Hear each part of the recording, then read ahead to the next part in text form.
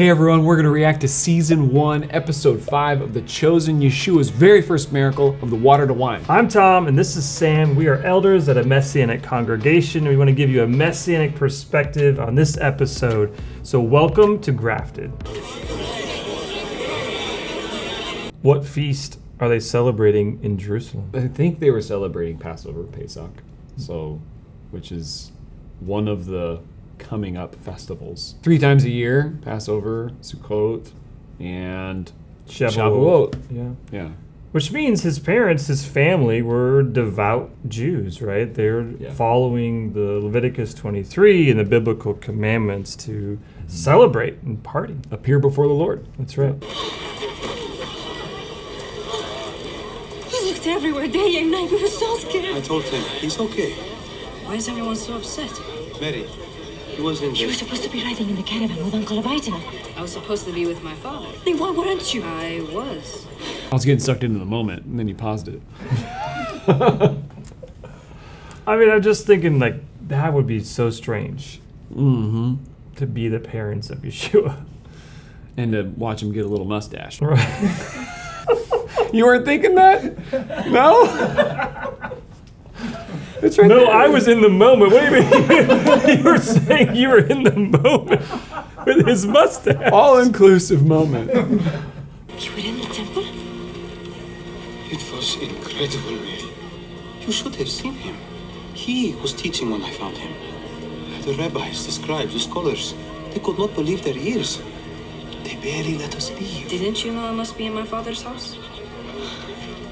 It is too early for all this. If not now, when? I was just thinking they're just in awe of his understanding, right? Mm, right. And so the Pharisees and all the religious leaders, they knew the scriptures so well. Mm-hmm. So it wasn't that they're like, oh, he's really good at memorization or something like that. It was it was his exposition. It was like his Yeah. Like understanding and, and maybe even application Hmm. or I mean, you know, maybe that's my question for you. What was it that was astounding them, do you think? I mean, for, to them, I think, wasn't he there for three days after they left? Is something like that? That's what they just said here. I can't remember in the text. I was trying to think from the text itself, but like for them to, for him to like hang out with scribes and Pharisees and those guys for three days and to have, I mean, it would have to be just interpretation. It would have to be like, you know, application. Right. It wouldn't just be, let me quote scripture for you. Yeah, for they wouldn't have days. been wowed by that. Right. Plus, like, losing a little kid for three days, that'd be scary. Right. yeah. What were they doing? Must get through all of this with you. Please.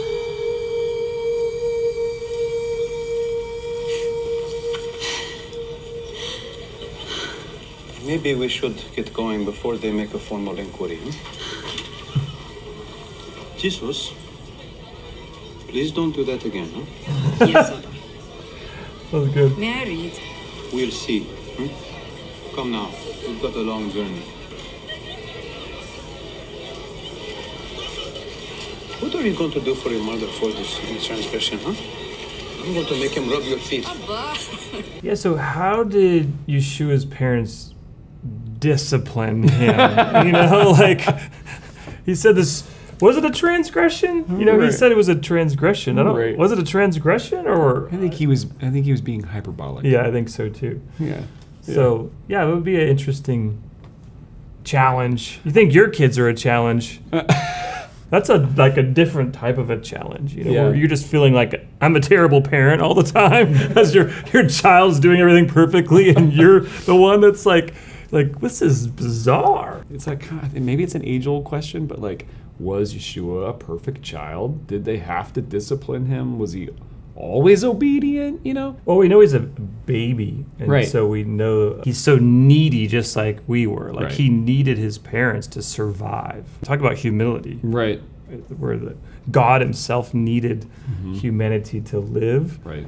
So, and you know, there's this he grew in in favor and stature with God and man. You know, like with this like reality where he's There's growing. maturation happening. Right. Right. Some people say they're in Jerusalem and there's some sort of bar mitzvah because he's 12 years old, but it doesn't actually say that in the I've text. never heard that. That's interesting. Uh, because you know traditional uh, bar and mitzvah is actually well it's 13 but so it's close Yeah. you know um, but it's like this coming of age time and this is definitely a coming of age moment right where he's interacting with the, Mm. the jewish scholars and, and scribes about Yeah. the text so he is kind of presenting himself in this greater way uh, although I would probably say he was always a son of the commandment. Bar mitzvah means Right. son of the commandment. So here's a question for you, Tom. If if he and his family are going up year after year to Jerusalem to all these things, and he had these encounters, at least one, right, with religious leaders, do you think they would have, by the time he was in his earthly ministry, do you think they would have known who he was already? I, I haven't ever thought about that. Yeah. It's a really good question. But I would say yes, because he's not like anyone else. Right.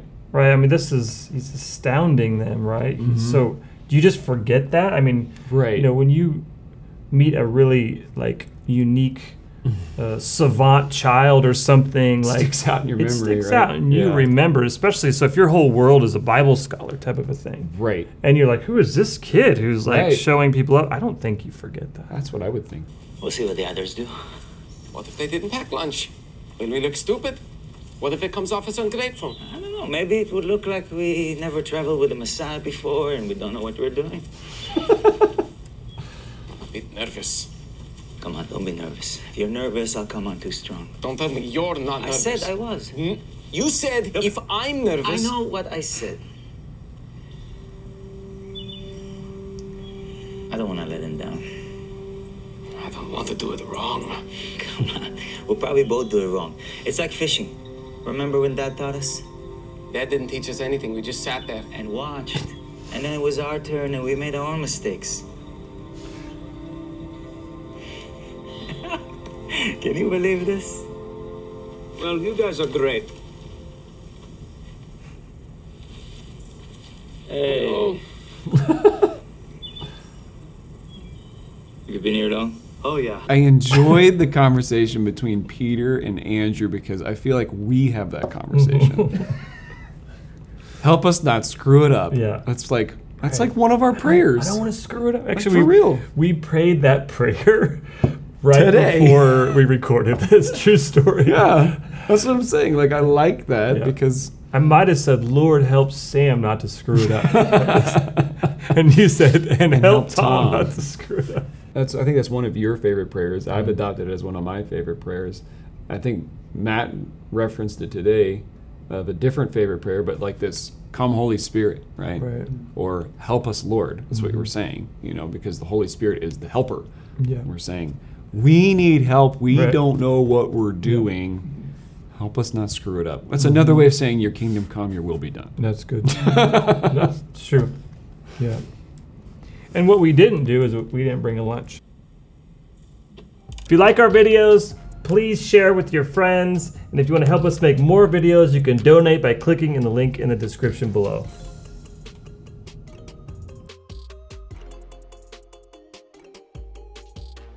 Know that look. Ah, Master, Yes, son. I was thinking, hmm. if this wedding is worth a journey for you, who has so much to do, hmm.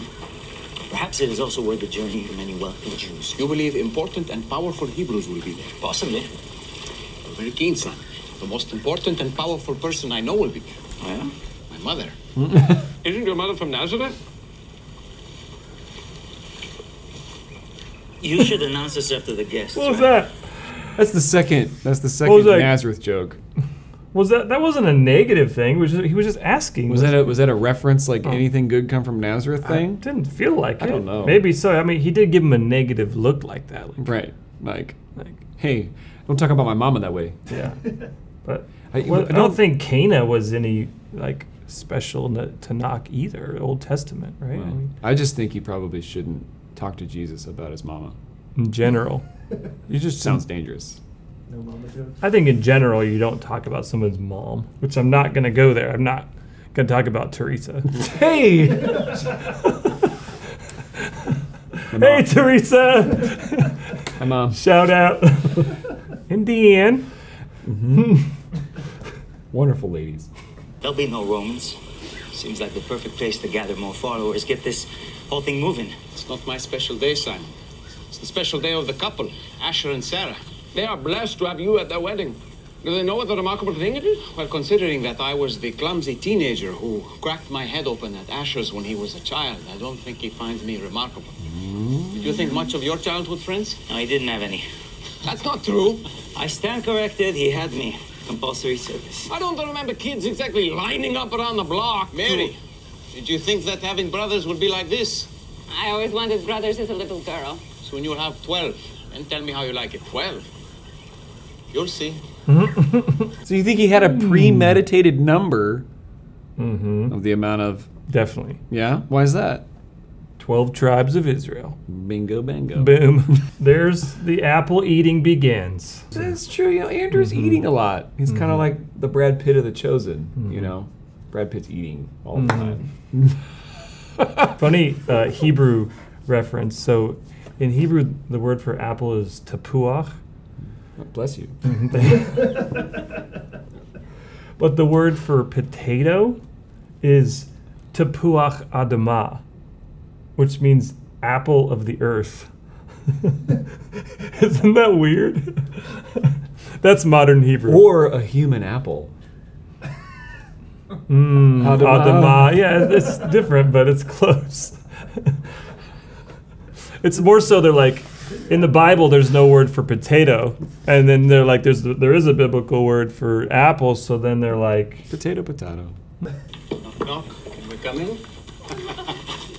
Hi, Ima. Oh, have you ever picked your mom up off the ground like that? I thought you were going to ask, have you ever been picked up, you know, for hugging purposes? Mm-hmm. But I wasn't expecting have I Yeah. ever picked up my mom. No, I've never You picked up could, my mom. you could pick up your mom. Yeah, for sure. Yeah. For sure. Good. Next time. Next time. Watch out, mom.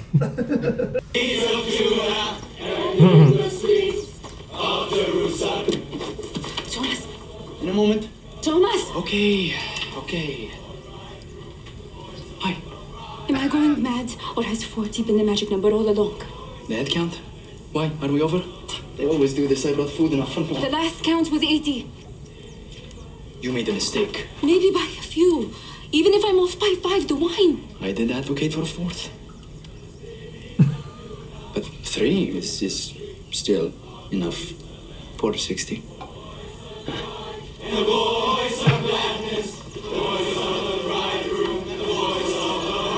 That was awesome. I love that scene. So you have like this is uh, some of the traditional weddings. Uh, they'd be like seven day celebrations. That's so. I think this is like it just seems like random during the day. Like why are they dancing? But Hmm. I, I think that's probably what would happen. And like a camp out? ah, maybe yeah. That'd be pretty rare. It was a big sacrifice though, because you like most people were day laborers. So if you didn't work Mm-hmm. for a week, you know you're they're probably even feeding them. I mean, this is Wow, really yeah. costly celebration. But I love how they're all circle dancing too. Mm-hmm.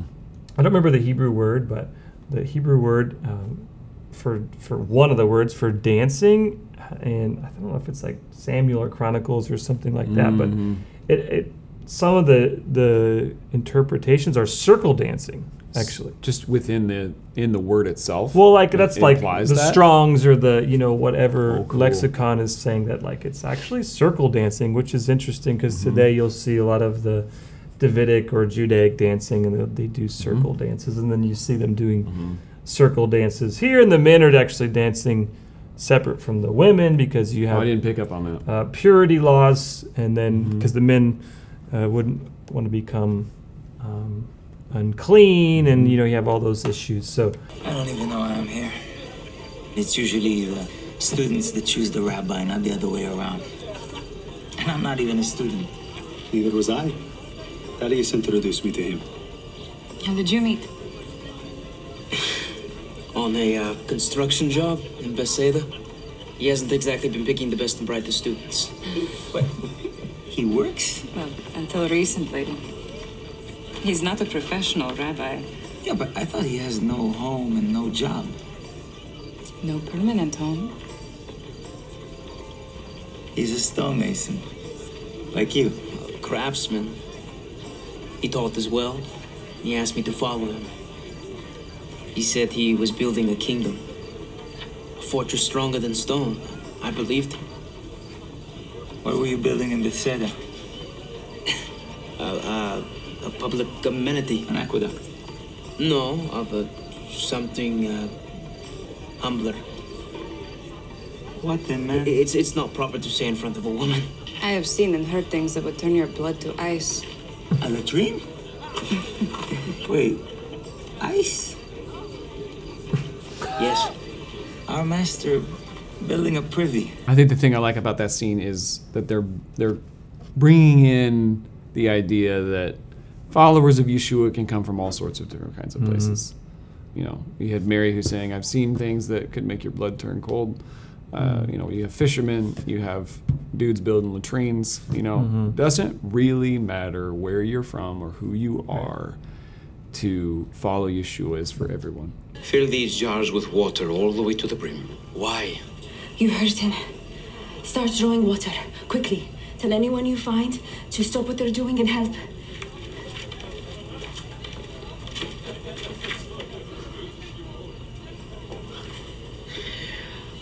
From the directions you have provided, I see no logical solution to the problem. It's going to be like that sometimes, Thomas. What did you say? I do not rebuke you. It is good to ask questions, to seek understanding. There's no time for this. I know of a man like you in Capernaum, always counting, always measuring. That's my job. And that people will think I have not done well tonight. Join me, and I will show you a new way to count and measure, I'm different Go where? I, I don't understand. Keep watching. After you've been following the Lord for a while, there is this reality where like time can stop. Mhm. You know, Mhm. like in worship, sometimes time stops. Mhm. For sure. It's like you're somewhere else. And sometimes your money feels the same way. Like it's like, where did that come from? Or I can't believe somebody would give you money Right. Right. to help you. Or it's like Mhm. it's like a different reality that we step into. Mhm. Yeah. Yeah, that's good. It's uh, the kingdom ruled by the king, right? What he says goes. We've talked a lot about time here and there, you know, but like, I think it's interesting that people kick against time a lot. Always wish you were younger. You, you know, you wish you had more time. Why is there, you know, only 24 hours in a day? Don't have enough time. Don't have enough time. But I like to say that that God created time to reveal Himself through. I have to remind myself of that a lot. but yeah, there's those moments where it's like, slow down, hold on. The Mhm. Lord's doing something. It's getting ready to slow down for Thomas. Right. right.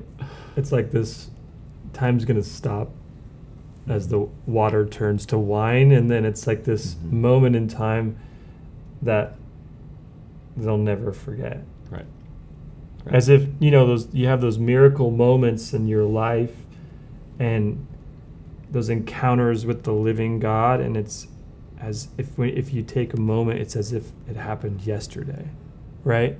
Right. It's like they're they're so they're still so real, and they could have been 20 years ago, but it's as if it just happened. Mm-hmm. Masonry seems like harder work. It isn't harder, it's just more uh,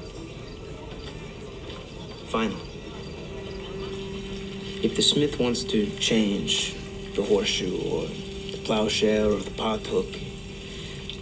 He has only to put the iron back into the fire and reshape it to fit his designs. They're full.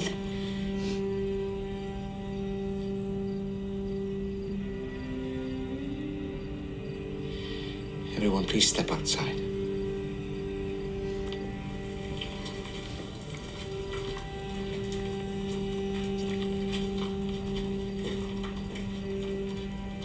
Just for a moment.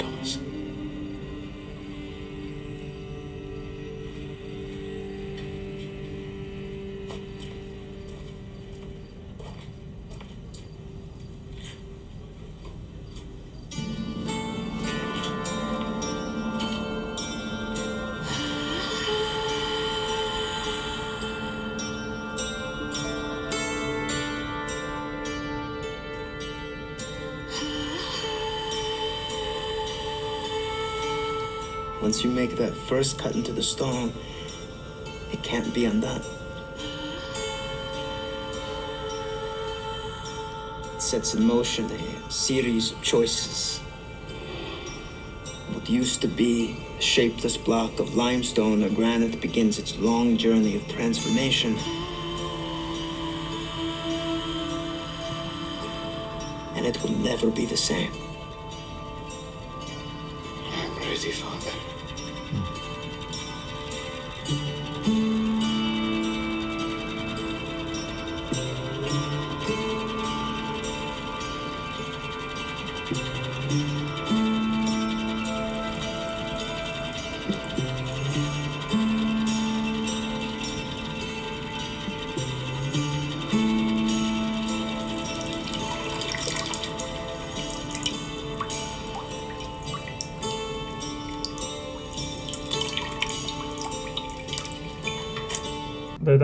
This was really a really good scene. Yeah, really well done. that was they're bringing so much in there, and even Mhm. like you could see it was like blood. Yeah, I was thinking the same thing. I did. I was like Yeah, setting in motion this. Wow. This is just beginning his journey to the cross, right? I mean, it's wow. he knows what he's Mm-hmm. beginning, and Mhm. and yeah, that was just just really powerful. Yeah. Just- they captured it so well. That like no turning back mm-hmm. moment, you know. Mm-hmm. Because that's, I mean, yeah, first public miracle. I mean, I think Yeshua is submitting his will. Yeah. You know, you see that portraying that here, but you see that in the garden right before. It's not my will. If, if, if, if Right. possible, let this cup pass from me. Right. But not my will, yours be done. Mhm. It's like, that's what he's saying here. He's Right. like, okay, ready to go. Right. I mean, in some sense, like you're saying, he's he's taking up the cross right Mhm. away. Yeah. He knows he knows where it ends up and Mm-hmm. I mean there's there's so much symbolism in this miracle Mm-hmm. that Right. that's you know it's portraying this this blood and yet it's also wine and so there's this Mhm. this for the joy set Wow. before me I endured the cross Yeah. right Yep. like and the, and the joy is Peter and Andrew Mhm. and Miriam those relationships that his friends and, and Mhm. beyond the friend of the bridegroom you know Mhm. it was this this marriage language and pointing then to what the the wedding banquet of the Mm. lamb this Right. like this future Yeah. celebration when he, he brings his whole family into the age to come and we Yeah. we celebrate as the bride and the bridegroom right i mean it's just Right. there's just so much that this is foreshadowing Right. i mean because you have to ask that question why water into wine as his first public miracle and i think Mhm. There's probably a lot of answers to that question It gets it gets very Right. deep, multifaceted. But sure. you have to say bride and the, his Right. longing and desire of the bridegroom Right. Right. to be with his bride like forever in this great Yeah. celebration that we'll all take part of. You know, you could say Right. that the millennial kingdom is like a thousand year wedding celebration in some Right. sense, you know. Right. There's so much that's going through his heart in, in this moment. I couldn't I Mhm. can't imagine. It's not just, oh, I have to suffer. I, I think it's again he's seeing beyond that even. He's seeing Mhm. that that joy set before him. You Yeah. know? I think it's important to note that's what he's saying. He's I'm I'm, I'm taking this cup Yeah. and I will drink this, Father, Yeah. for the joy set before me. And then we have to drink that cup. Exactly. you know we have to drink that wine Yeah. actually like that's that's Yep. the lord's table i mean Yep. that's we have to enter into that story That's it. and then we have to what we enter into the suffering it Mhm. says even right So it's through much suffering, Paul says, that we enter into the kingdom. But then the amazing part too is it's so there's so much going on because then wine also represents joy. Exactly. right? So it, it's this joy, like it's this. There's this truth that we don't really know what joy is mm-hmm. without knowing the Lord. Right. With without entering into this story Yeah. and into this family, it says, Yep. if you haven't ever experienced true joy. Yeah. Because it's this joy that, that allows you to endure all the pain and all the suffering in this world, which is is seemingly unending and it's Mm-hmm. everywhere you turn, it's more suffering and it seems like it's only getting worse. Right. And yet the whole time it's like he's reaching out this cup and he's saying that this wine is available, this joy, you can experience it now, even in this age. Not the fullness of the joy, it's Mm-hmm. it's but it's this taste mm-hmm. of the age to come. It's this taste of the banquet Yeah. that's to come. Yeah. Yeah. This is is an extraordinary scene. Beautiful. Go draw some out and serve it to the master of the banquet. He's like, do what now? The latter vintage, sir. Let's have a